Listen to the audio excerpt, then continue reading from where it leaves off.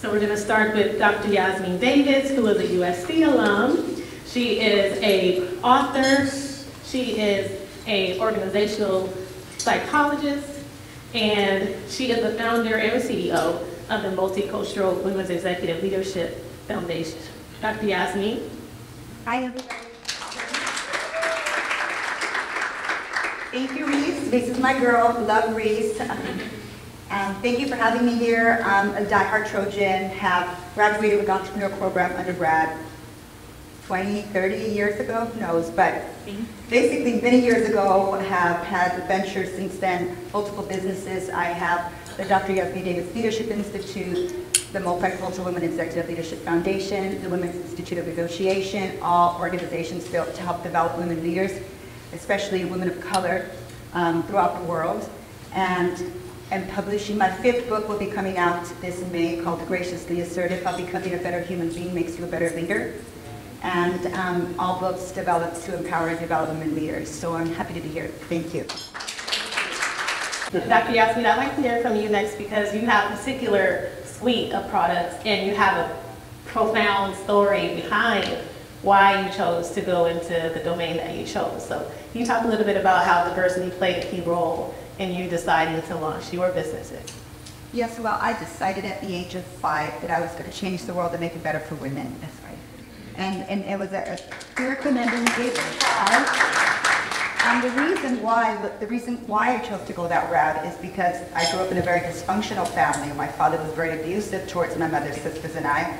And I would ask my mom, Mami, ¿por qué? In Spanish, she didn't speak English. They were great education. She was here from Mexico, my dad's from Ecuador. Like, why, why don't we leave? I knew something was wrong. I knew that, you know, my mom not being able to ask questions, us being silenced by, by a look, or we would get hit, was not okay. And so she's like, Mijita, I don't know the language, I don't have any skills, you know, if I leave, we're, help, we're, we're homeless, you know, this is the way things are. And I said, oh no, mommy, when I grow up, I'm gonna change the world and make it better for women. Don't ask me where I got my little guts. Don't ask me why I, I mean, that I realized later, after 30 years of therapy, that um, that it was my way of survival. It was my way of finding hope for the future, was finding a way to see I cannot control my today, but I could control my tomorrow and help other women be able to not be in the same situations. It's no surprise that I got my PhD, become the most educated Latina that there could be, because that made me self-sufficient, made me economically, uh, financially free enough to be educated to, to make the money that I, that I wanted to make and be financially stable, build whatever I wanted to build. And we'll go into different entrepreneur ventures. When it comes to diversity and it comes to belonging, because to me diversity is irrelevant if there's no belonging. That's just my thing. You can have a bunch of different colors, but if they don't feel they belong, it doesn't matter if it's all dominant one culture and we all have to conform. So to me, it's really about a sense of belonging. And how we do that in our institute and our programs is there's three elements. You have to be extremely intentional.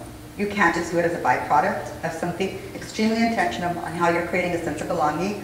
Number two, you have to be ego-free. And I'll explain why. And number three, you have to systematize it, operationalize whatever it is.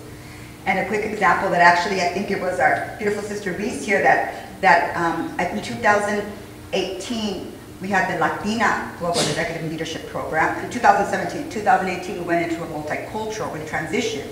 So it became from an all Latina program to now women of all cultures. Well, some women were showing up and they would say things in Spanish. Just kind of like, you know, um, la, what do you call it, uh, la chancla, like bring out la chancla. And that la chancla means in land culture, they, you know, bring out the, the shoe. That's how parents, and they would throw you the shoe. It's just kind of like a funny thing. And so, was it you, Reese, that came to me? Reese came to me. She was in our cohort, our, our cohort in 2018, our um, first cohort, and she said, Dr. Davidds, you know, um, women, some women are speaking Spanish and I don't understand them. And it doesn't make me feel like, and in her own words, doesn't make me feel like I belong. And I was like, well, hell no way. Like, that's not going to happen here. So at that moment, I made a decision. I made an executive decision that if I also didn't want people to feel they can say things in their native language, so I needed to find a way to merge and be intentional. So I said, okay, ladies, there's a new policy a policy is if you choose to say something in a different language, you can say that, but you have to repeat it in English and explain what you just said because it's also an opportunity for education. So you can educate your fellow sisters, it doesn't matter from, you know, black, brown, Asian, doesn't matter. And, um, and that way everybody learns and you still feel that you can be, say Spanish things. And everybody accepted it. And then there would be, as we went further on throughout the years, sometimes women would forget. So our, our staff would then interpret it and say it. And then we decided to operationalize this. We needed to, so that's policy. When fellows come in, we call the women fellows, we tell them this is a policy now, this is how we do things.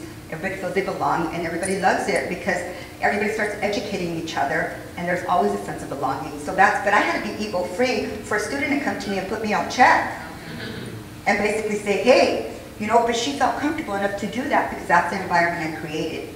So ego-free, intentionality, and systematizing. Thank you. Thank you, Jennifer. Dr. Yasmin, um, can you answer the same question, please? What advice would you give these aspiring budding entrepreneurs, keeping in mind some of the things you learned early on, and some of the partnerships that you made that helped you be successful? What kind of advice would I give them? Yes. I, I would say that um, I think one of the questions in the list of questions was in hindsight, you know, looking back, what would you do differently or what would you focus on? And my answer to that question continuously is I would do absolutely nothing differently. Because I am who I am today because of everything that I have been through up to now. Every single step of the way, what I've learned, I wouldn't have learned if I hadn't made that mistake, if I hadn't fallen, if I hadn't, you know, been betrayed, if I hadn't, you know, and worked with investors that, you know, some, figuring out what investors, you know, lining up on values, how important that is. If I didn't, if I worked, if I had worked with investors that I didn't line up on values, I would have realized that it doesn't work. It doesn't work when your values are not, when on a value-driven purpose, like, like driven, purpose-driven, and they're not. Um, not even a little bit. It doesn't work, right? Unless you find a different way. So, all the money you got, I've lost, all times I've fallen, those are a part of the journey. And I actually am grateful for them, and I see them as gifts. So it truly is about your perspective in life. I see the trauma that I went through as a gift to give me purpose. I would not be so purpose driven if I hadn't been through the trauma that I went through. I don't believe I wouldn't because I wouldn't, there's nothing that would be driving me as much. So to me, I say take every experience that you go through and take it as a building block. You know, I had to do this interview video this past week about internal confidence versus external confidence. And I say external confidence is built on the accolades, the money, the power, having the nice body, the nice clothes, you know, but there's always going to be somebody prettier than you, richer than you, you know, smarter than you, has more degrees than you, and you're never going to feel you measure up, and you're always going to be chasing that confidence that the, ex- the external world gives you. Don't get me wrong, I like money, I like good life, but it doesn't define me. I know I've survived with and without it. What builds the confidence is taking what I have survived and knowing that not only have I survived, I use it to build myself and build others. And help people find their story, that the thing they're most ashamed of, and take it, embrace it, heal from it, and build upon it. And be proud of it with it overcome. No one can take that away from you. You will always have that strength and just let yourself shine and that brings you peace. So don't let this outside world take your confidence from you. Build your internal confidence and, and love yourself in the process of building whatever it is you want in the outside world. Awesome. Thank you. So I took away from that the two nuggets for find the gift in every situation, good or bad, and to have that internal confidence to keep going and find people who are associated with your values, your value-driven purpose. Driven purpose. Thank you for that. So that's really powerful, and I know with Dr. Yasmin's teachings and what we learned a lot of leadership development is having your true heart. So can you kind of just piggyback on what Professor just said and kind of explain why that is so important as an entrepreneur? Yes, as an entrepreneur, I mean, you're, you're driven many times for that external, whatever it is that you want to build, and it's great, but how, how clear are you about your values and what's important to you? How it aligns, because you don't want to find yourself at 70 years old saying, what have I done with my life? I have all this money, I build well, you know, I, I, many people who've retired now are like, did I even have a purpose? Like, did I really do anything? Now, they, they they reflect, they were just chasing whatever they thought they needed to chase to be successful, what America tells them, or the world tells them that is what success looks like. But internally, are they aligned to finding fulfillment? There's a difference between happiness and fulfillment. Happiness you can have, you have a beautiful family, a great job, and you're like, I'm happy, but I'm not fulfilled. There's something missing. Fulfillment comes from contribution. It truly does. There's an alignment of contribution and happiness. There's, so getting really clear on what's most important to you, doing a value assessment with yourself. And we use a book called uh, True North by Bill George. It's a workbook and a hardcover. And um, it really allows you to go deep dive into your childhood, into your crucibles, what you went through in life and how you built your values. And do you still hold them now? And do you want them? Do you want those values and what's clear to you? Once you get clear on your values, everything changes because you're so clear on what type of job you want or if you want to build your own business, what kind of business you want to build. And now everything becomes a more of a process and trying to find what aligns with your values. You're so clear. Most of the time I find individuals who are hugely financially successful but are not happy or are not fulfilled. And it's because they're not clear on their values and they haven't been leading with their values. I, I mean, I think one thing that happens there when you're clear on your values and, and your true north, as you say, um, all of a sudden you shift from how do I fit myself into what others want, and instead it becomes a filter the other way around. Uh, who is aligned with what I want? You know, and that's exactly. That's powerful. Well, to me, it's like, how do I create? Me helping women become self-sufficient, get the tools. So I have, I created a women's leadership, or um, executive leadership program in partnership with USC Marshall School of Business.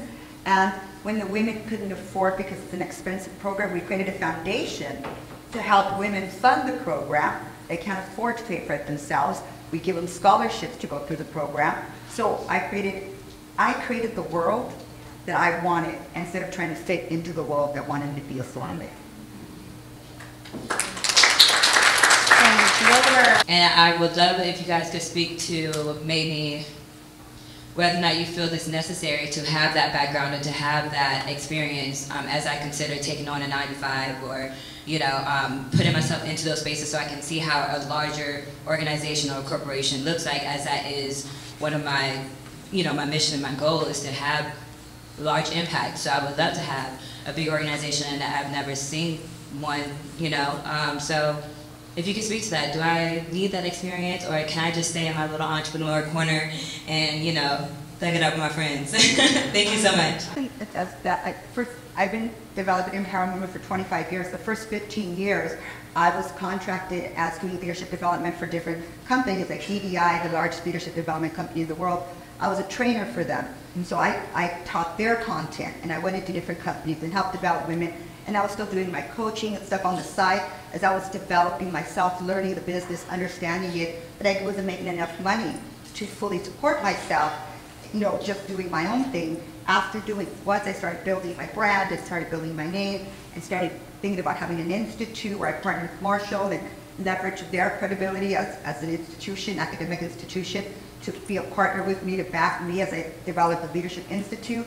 Then 10 years ago, I launched on my own, my Leadership Institute, my leadership company, entrepreneur program for multicultural women, leadership program, women negotiation program, and partnering with different schools. But it took me 15 years of me. That was, you know, nowadays people just get investors, get money, and they do it. For me, it was more about me learning the business and understanding what I even wanted to do it, how I wanted to do it. I wanted to do it differently.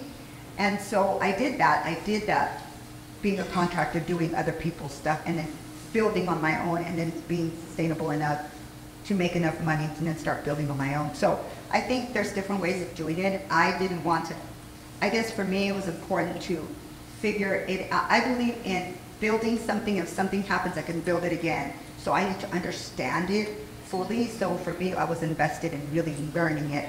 Other people are like, I need to learn, I can pay people to do that, which is, which is fine too. It depends on who, who you want to be and how you want to be.